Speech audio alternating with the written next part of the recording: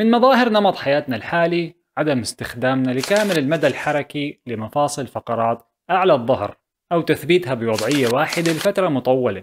وهذا يسبب تجمع الغازات في داخل المفاصل لتشكل فقاعات أو ببلز بشكل مستمر.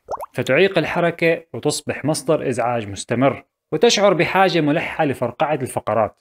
نعم يمكن علاج المشكلة بالضغط عليها بحركة إطالة. لتنفجر وتصدر صوت الفرقعة وتشعر براحة فورية ولكن يصعب فرقعة هذه الفقرات بدون الاستعانة بمختص. لهذا السبب خصصت هذه الحلقة لكي نتعلم طريقة صحيحة لفرقعة فقرات أعلى الظهر. للحصول على راحة فورية وبشكل آمن ومريح. تابع معي.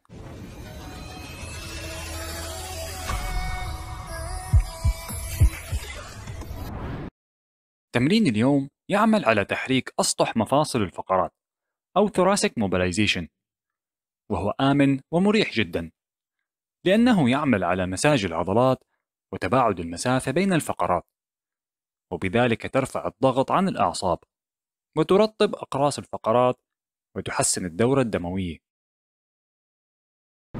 لنبدأ بوضعية التمرين. لأداء هذا التمرين سنحتاج إما لإسطوانة مدورة متينة بهذا الحجم أو الخيار الآخر والمفضل لدي وهو كرتي تنس موضوعة في جراب.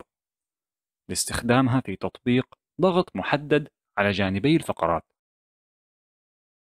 نقوم بوضع الأسطوانة أو الكرات على الأرض ونستلقي عليها بحيث تكون في منتصف الظهر تماما بهذه الطريقة.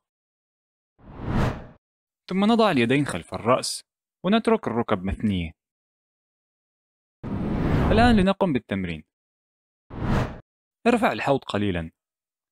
وباستخدام القدمين تدحرج للأعلى والأسفل على طول أعلى الظهر. قد تجد أن هذه الحركة مؤلمة قليلا وهذا طبيعي إذا كنت تعاني من تصلب العضلات.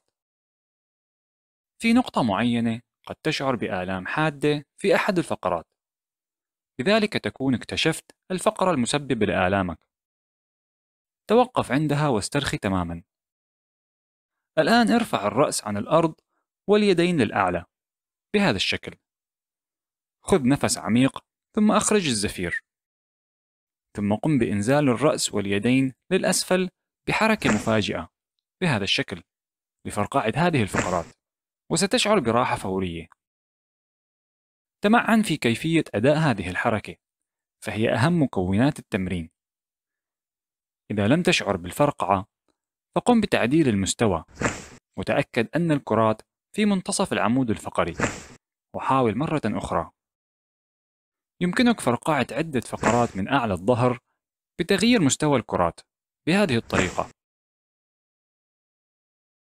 أيضا بإمكانك الاستمرار بالتدحرج على الكرات أو الأسطوانة بهذه الوضعية لمدة 30 ثانية لإرخاء تصلب العضلات.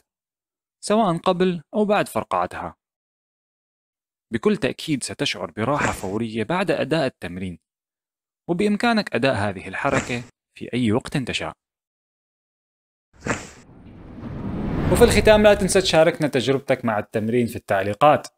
وأسأل الله لنا ولكم دوام الصحة والعافية. شكرا لك للمتابعة للنهاية. لا تنسى الاشتراك بقناة سكون مد. معكم الدكتور فارس وراكم بالحلقة القادمة إن شاء الله. واعتني بجسمك لأن روحك تسكن فيه.